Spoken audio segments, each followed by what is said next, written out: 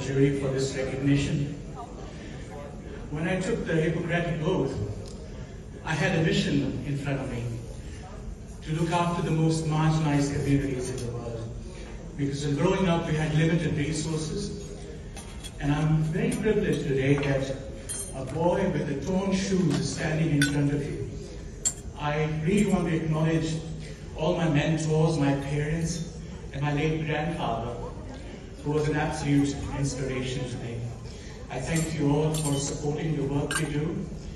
And I want to really acknowledge that every nine minutes an Australian suffers a stroke.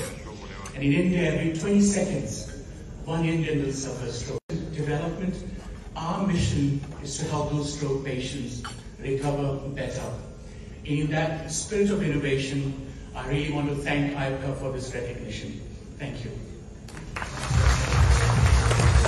Congratulations once again to Dr. Sonu Bhaskar from Global Health Neurology Lab.